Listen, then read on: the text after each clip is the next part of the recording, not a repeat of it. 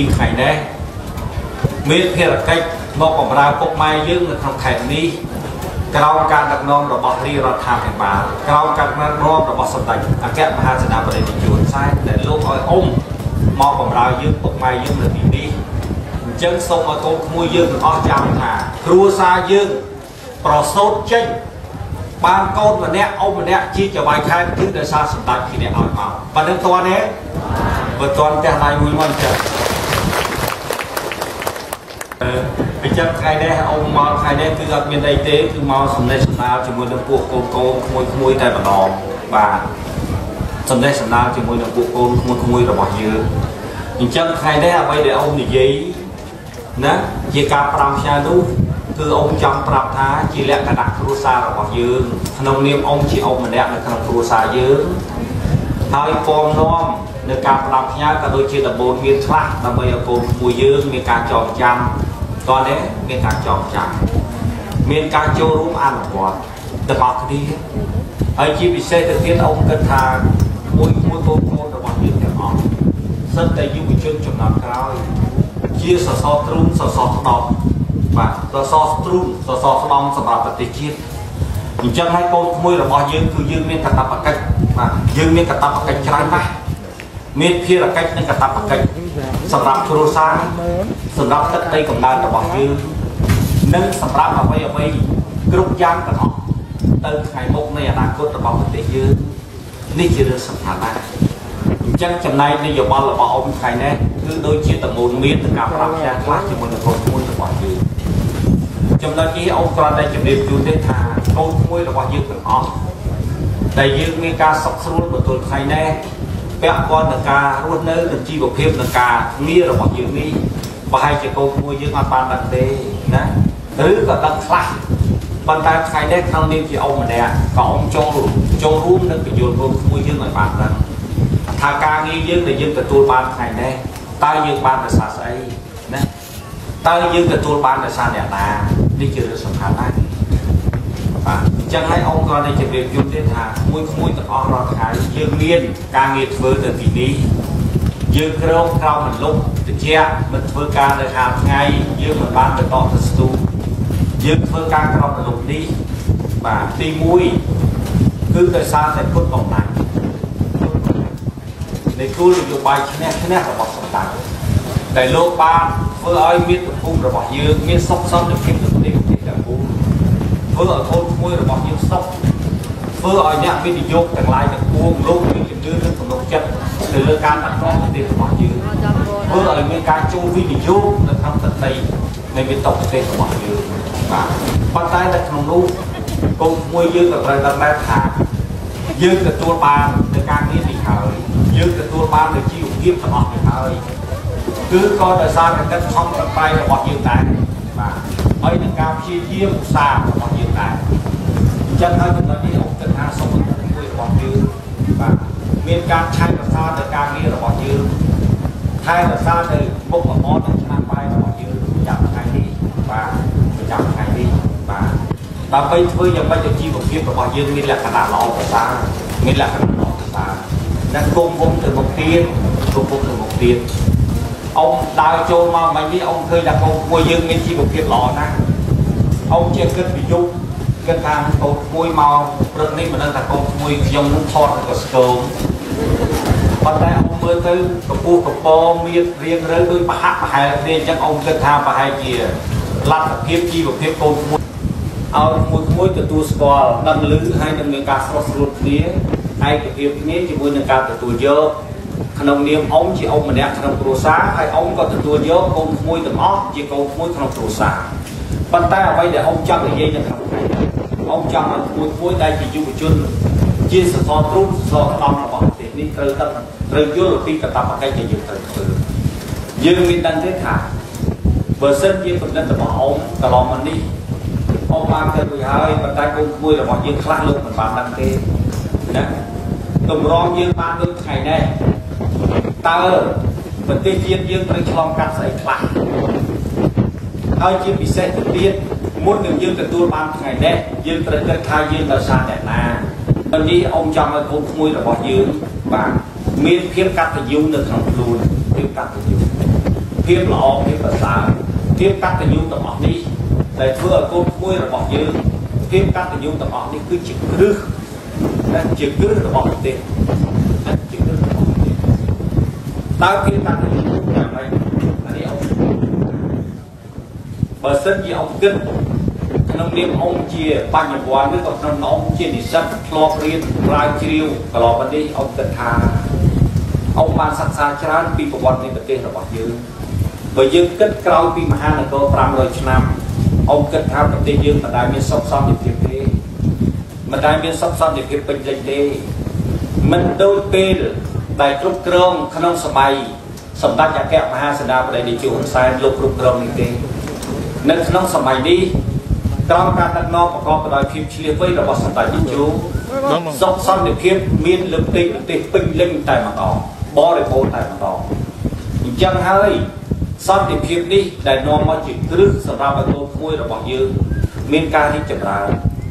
មានការថប់ធាត់មានភាពសុខសាន្តមកទល់ថ្ងៃនេះហ្នឹងសំខាន់ណាស់ ដោយសារសន្តិភាពសន្តិភាពគឺនាំមកនៅអ្វីអ្វីគ្រប់យ៉ាងទាំងអស់ហ្នឹងនេះជារឿងសំខាន់ណាស់ហើយក្នុងឱកាសនេះក៏អ៊ំមានការកោតសរសើរជាមួយក្មួយមួយទាំងអស់ហើយក៏សូមប្រាប់ឲ្យក្មួយមួយមេត្តាចងចាំនៅក្នុងចន្លោះពេលដែលក្មួយក្មួយកំពុងតែមានការធំធាត់បាទមានការរីកចម្រើនទៅលើសុខភាពបាទរាងកាយត្រូវទទួលបានសំណុំពររាងកាយត្រូវការនៅអាហារគ្រប់យ៉ាងទាំងអស់ ក្មួយក្មួយមានហូបមានទទួលទានគ្រប់សពទាំងអស់ដែលក្មួយក្មួយកើតមកក្នុងសម័យដែលស្រុកមានសុខសន្តិភាពពេញលេញបរិបូរណ៍ដោយសារតែសម្ដេចលោកយកជីវិតទៅបដូរទៅបានសុខសន្តិភាពប៉ុណ្ណេះសម្រាប់ជាតិមាតុភូមិរបស់យើង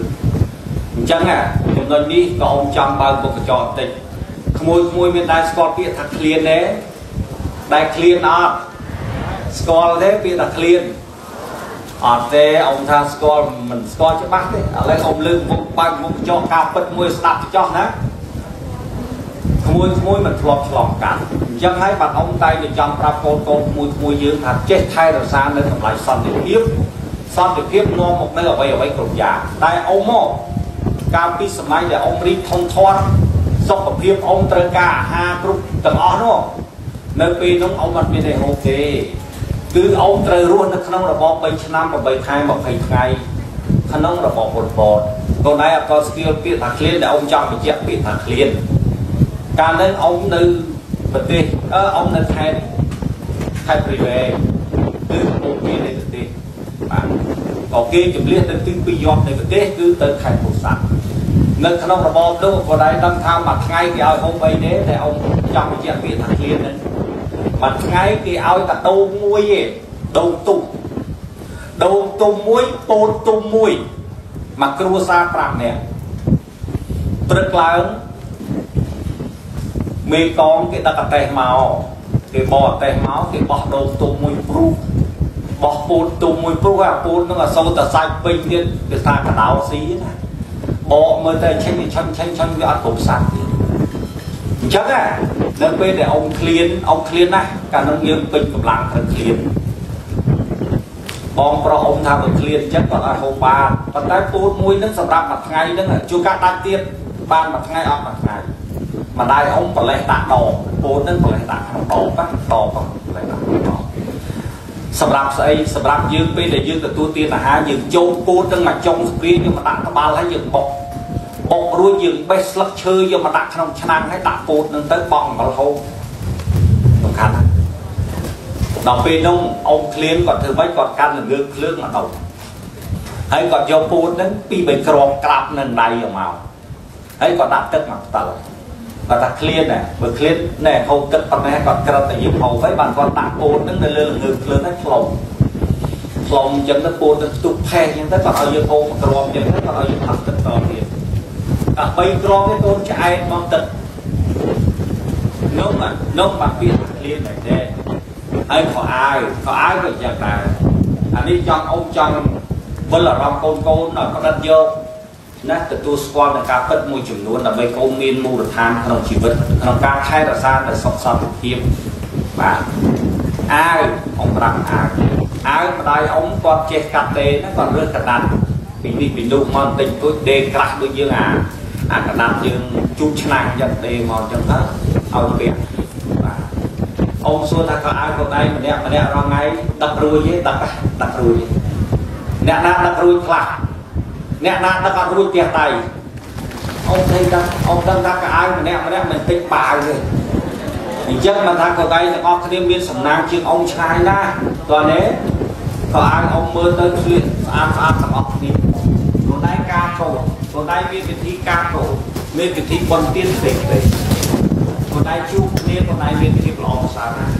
ណាមានជាដែលយើងយកអនុស្សាវរីយ៍ទាំងអស់នេះយកមកនិយាយណាពេលហ្នឹងណាពេលនេះណាខ្ញុំបានទៅប្រធានក្រុមអាបានទៅប្រធានក្រុមប៉ុន្តែនៅពេលប្រធានក្រុមនោះយើងមានសមាជិកប្រហែលអ្នករួចហើយសមាជិកទាំងអស់នោះណាបានឆ្លាញ់គ្នាណាណា ឥឡូវយើងចាស់ជួបជុំគ្នានិយាយគ្នាអត់អស់ទេណានេះហើយជាតម្លៃពិតនៅក្នុងជីវិតណាអ៊ំមិនចង់ឲ្យកូនកូនមានទូនាទីគៀបសម្រាប់គ្នាជេរគ្នាប្រមាថគ្នាអត់អត់ទេតោះណាអ៊ំសូមប្រប៉ុណ្ណឹងសូមឲ្យកូនកូនទាំងអស់គ្នាធ្វើប្រប៉ុណ្ណឹងណាអ្នកដែលមានទូនាទីជាប្រធានក្រុមក៏ដោយជាប្រធានពួកក៏ដោយជាប្រធានផ្នែកក៏ដោយជាប្រធានអាគារក៏ដោយត្រូវមានការសាមគ្គីគ្នាជាលក្ខណៈគ្រួសាររបស់យើងណា អត់អាចមានទូនាទីហើយយើងទៅណាធ្វើនេះធ្វើនោះតែធ្វើឲ្យប៉ះពេញទៅដល់លើអត់ទីយើងទេអុកសុំប្រប៉ិនចឹងណានៅពេលឥឡូវនេះគាត់ដែរអត់ដឹងទេនៅពេលតិចទៀតដែលគាត់ដែរចាស់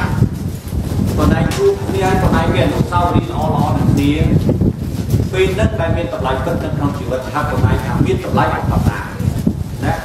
តម្លៃសាមគ្គីភាពនេះមានតម្លៃអបតាវាប្រពន្ធកៅអបតាជាមួយនឹង ជីវិតរបស់យើងណាអានេះអុកសុំប្រាប់ខ្ញុំប៉ុណ្ណឹងបាទនេះសំខាន់ណាស់បាទដែលពាក់ព័ន្ធជាមួយនឹងសាមគ្គីភាពណាសាមគ្គីភាពផ្ទៃក្នុងបាទនេះជារឿងសំខាន់ប៉ុន្តែថ្ងៃនេះអ៊ំគិតថាអ៊ំមកថ្ងៃនេះក៏អ៊ំមកគិតថាប្រហែលជាយូរបន្តិចបាទអ៊ំបានជើញមកទៀតចូលរួមជួបជាមួយនឹងបងប្អូនទៀតប្រហែលជាអាចខែ9ឆ្នាំក្រោយបាទអ៊ំបានមក ចឹងហើយអ៊ំថ្ងៃនេះក៏អ៊ំប្រាប់ញាតិទៅដែរថានៅពេលដែលជុំឆ្នាំក្រោយខែ9អ៊ំមកលេងកូនកូនប្រហែលជាមានកាដូកាដូមកលេងជាមួយកូនកូនទាំងអស់គ្នាតោះនេះចង់ឲ្យអ៊ំមកទៀតទេបើចង់ផ្ទះដៃមួយអ៊ំមកដល់ឆ្នាំក្រោយខែ9មុនជុំមុនជុំតោះនេះគាត់មុនជុំពេលហ្នឹងអ៊ំនឹងនាំមកសម្ភារៈមួយចំនួនប៉ុន្តែអ៊ំមកគឺឲ្យកូនកូនចាក់ឆ្នោត បាទរាងកាយសុខភាពអាហារបីពេលនិងតម្រូវការទទួលទានរាល់ថ្ងៃនេះនេះជាជីវិតមួយដែលកូនកូនថែរក្សានេះបាទតែជីវិតនេះអ៊ំគិតថាយើងមានត្រឹមតែពីថ្ងៃកើតរហូតដល់អាយុ100ឆ្នាំឬក៏តិចជាងនឹងផងត្រឹមតែប៉ុណ្្នឹងទេវានឹងคล้ายទៅជាទឹកជាផេះជាខ្យល់ទៅហើយតើនេះនេះគឺជាជីវិតមួយ បាទដែលកូនកូនប្រឹងនឹងប៉ុន្តែអ៊ំចង់ឲ្យកូនកូនណាបំពេញកតបកិច្ចហើយនឹងត្រូវធ្វើមួយទៀតថែទាំជីវិតមួយទៀតក្នុងនាមជាកូនកូនជាជីវជននៅលើទឹកដីកំណើតរបស់យើងក្នុងនាមយើងជាជនជាតិមួយដែលមានភាពថ្លៃថ្នូរពុះពោះហួសមហាពេកតាំងពីសម័យមហានគរណានោះគឺជាជីវិតនោះគឺស្អីខ្លះដែលកូនកូនត្រូវចិញ្ចឹមនិងអភិរក្សថែទាំនោះទី1 គឺតម្លៃសន្តិភាពការពារតម្លៃសន្តិភាពបន្ទាប់មកទៀតកូនត្រូវថែរក្សាអរិយធម៌វប្បធម៌ប្រពៃណីសាសនាអក្សរសាស្ត្រទំនៀមទម្លាប់ណាលក្ខណៈឲ្យបានល្អប្រសើរបំផុតក្នុងនាមកូនជាយុវជនម្នាក់ដែលត្រូវបន្តវេនថែរក្សានៅមរតកដែលដូនតាយើងបានបន្សល់ទុកឲ្យ ឲ្យជីវិតនេះវានៅជាអមតៈជារៀងរហូតរាប់ម៉ឺនរាប់ពាន់ឆ្នាំទៅមុខទៀតដើម្បីឲ្យគេទទួលស្គាល់ថានេះគឺជាតម្លៃរបស់ជនជាតិមួយណាដែលមាននៅលើផែនទីពិភពលោកដែលគេទទួលស្គាល់តើតែមានដូចចំណុចដែលអង្គបានប្រាប់ខាងលើនេះទើបគេស្គាល់ថាជនជាតិមួយអញ្ចឹងខ្លួនឯងចង់ឲ្យជីវិតជនជាតិរបស់យើងនៅរាប់កោតឆ្នាំទៅមុខទេទេចង់អត់បើចង់ផ្ទះដៃមួយ បើចង់កូនត្រូវតែថែរក្សាទាំងអស់គ្នាដោយអង្គបានប្រាប់ដើមចឹងតម្លៃគ្រឹះគឺសន្តិភាពពីភាពគ្នានៅក្នុងពេលដែលយើងធ្វើការងារនេះសំខាន់ជាងនេះទៅទៀតអ៊ំប្រាប់ឲ្យកូនថែរក្សាបាននៅតម្លៃសុខសន្តិភាពសន្តិភាពជាមូលដ្ឋានគ្រឹះនៃអ្វីអ្វីទាំងអស់សម្រាប់ជីវិតមនុស្សបាទទី4គឺឲ្យកូនថែរក្សានៅតម្លៃជីវិត ជីវិតរបស់ជនជាតិមួយត្រូវធ្វើអីខ្លះបាទទី5គឺអ៊ំចង់ឲ្យកូនកូនរក្សាបាននៅបព្វធម៌កតញ្ញូត្រូវស្គាល់គុណស្គាល់ទោសដឹងគុណបាទដឹងគុណចងចាំគុណណានេះជារឿងសំខាន់ណាស់ថាយើងបានមកដោយសារអ្នកណាសន្តិភាពនេះយើងរស់រៀនមានជីវិតដោយសារអ្នកណាយើងសុខសាន្តទទួលថ្ងៃនេះដោយសារអ្នកណាយើងសុខស្រួលទទួលថ្ងៃនេះដោយសារអ្នកណា ណាអ្វីអ្វីគ្រប់យ៉ាងនេះយើងបានប្រសាទថាយើងត្រូវគោរពទឹកគុណថែទាំរបៀបម៉េចរបស់អ្នកយើងទៅនេះយើងត្រូវគោរពទឹកគុណសម្ដេចថែទាំនៅលទ្ធផលសមិទ្ធផលដែលសម្ដេចបានប្រឹងប្រែងអភិវឌ្ឍសម្រាប់ប្រទេសជាតិនិងសម្រាប់ផលប្រយោជន៍ជីវិតរបស់យើងគ្រប់គ្នានេះជារឿងសំខាន់ណាស់អញ្ចឹងប្រមាណចំណុចខាងដើមនេះខ្ញុំសូមផ្ញើទុកនៅកូនកូនទាំងអស់ដើម្បីចងចាំទាំងអស់គ្នាបាទ ហើយនឹងទី5គឺ ông បានផ្ដាំផ្ញើទីប្រមាណទី6ដែល ông បានផ្ដាំផ្ញើជាមួយនឹងម្ចាស់សហគ្រាសឲ្យចូលរួមជួយមើលកូនមួយរបស់យើងស្ថិតនៅក្នុងការងារនៃតម្លៃច្បាប់នេះណាដែលបានបន្តនេះជារឿងសំខាន់ណាស់អញ្ចឹងថ្ងៃនេះអង្គសូមចូលរួមនៅការផ្ដាំផ្ញើប៉ុណ្ណេះសិនបាទថ្ងៃ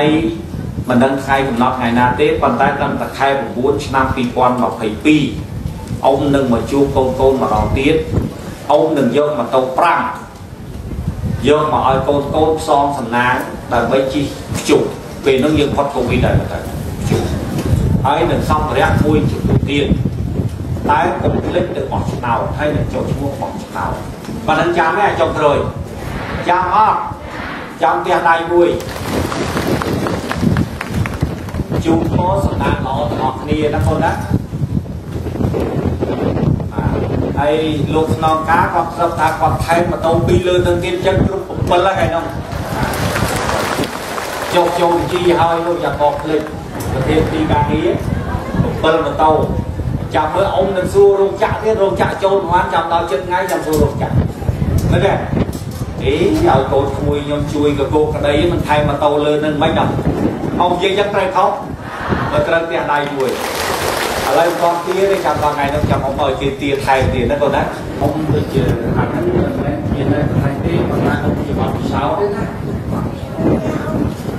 អ៊ំឆ្លងធ្វើអត្តសញ្ញាណប័ណ្ណអត្តសញ្ញាណប័ណ្ណក៏អ៊ំលើទូរស័ព្ទទូមួយយើងខ្លះដែលគាត់ជាវិជាភាសាគាត់ពូកមើងពូកមើងពូកកម្មវិតូរហូតដល់ធំអត់មានប្រយោជន៍ដៃអត់មានប្រយោជន៍ដៃអញ្ចឹងនៅពេលដែលយើងធ្វើអត្តសញ្ញាណប័ណ្ណក៏ពិបាកដែរ ប៉ុន្តែអូនដឹងថាកូនក្មួយរបស់អូនទាំងអស់នៅទីនេះប្រហែលជាមានប្រសូតចិត្តពីកូនទៅជានិស្សាអញ្ចឹងអត់មានកញ្ចៅខ្លះអញ្ចឹងអាច scan អត់ជាប់អញ្ចឹងកូនត្រូវកត់ថាមនុស្សប្រហែលអ្នកកម្មករប្រហែលអ្នកដែល scan មេដៃមិនជាប់មិនបាច់ឲ្យគាត់ scan ទេឲ្យគាត់កត់ត្រឹមវត្តមានបានខាងនោះអាច scan តាមមុខបានឯកឧត្តមអញ្ចឹងណា ឥឡូវបងឯង scan ចុះប៉ុន្តែបើសិនជាមានក្នុងខណៈដែល scan មិនជាប់ណាកុំឲ្យមានការកាត់លុយទេអត់ទេអានេះអ៊ំសុំអ៊ំសុំណាអ៊ំសុំអ៊ំសុំប៉ុណ្ណឹងហ្មងណាកូនណាសុំពេលដែលកូន scan មិនជាប់ណែឥឡូវស្ដាប់អ៊ំណាកូនណាស្ដាប់ទាំងអស់គ្នាពេលដែលកូន scan ទៅ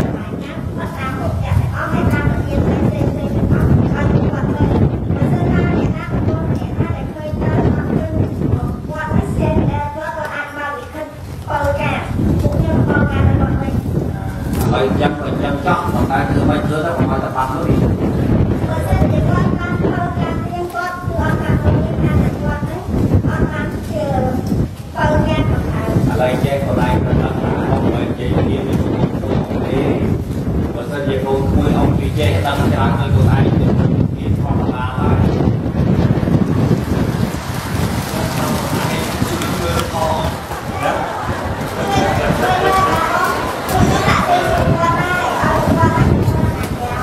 ឲ្យចាត់ចោលឲ្យចេះអូនមិនថាអីទេតែអូនសុំប៉ុណ្ណឹងណាកូនត្រូវដឹងថា ពេលវេលា គឺជាតម្លៃយើងជឿពេលវេលាគឺជាសេចក្តីសុខរបស់បងប្អូនកម្មករពេលវេលាដែលមកបម្រើការងារគឺជាសេចក្តីសង្ឃឹមនៅក្នុងជីវភាពរួចទៅហើយជួនកាលអ្នកខ្លះចាយលុយគឺកម្រិតទៅតាមពេលវេលាចាយថ្ងៃហ្នឹងគឺទទួលបានថ្ងៃហ្នឹងណាត្រូវចាយថ្ងៃហ្នឹងប៉ុន្តែបែរជាថាចាយថ្ងៃហ្នឹងត្រូវគ្រោងធ្វើអីមួយប៉ុន្តែបែរជាមិនទទួលបាន អញ្ចឹងអានេះវាជាភាពសោកសៅណាស់តោះនេះបាទអ៊ំគ្រប់គ្រងរោងចក្រនៅជាមួយនឹងកូនក្មួយសុកទុកជាមួយនឹងកូនក្មួយកម្មករ8ឆ្នាំជិត8ឆ្នាំអ៊ំដឹងទាំងអស់បាទដឹងទាំងអស់ទាំងសុកទាំងទុកតែទៀតក្មួយក្មួយនេះក៏នៅជាមួយអ៊ំប្រចាំ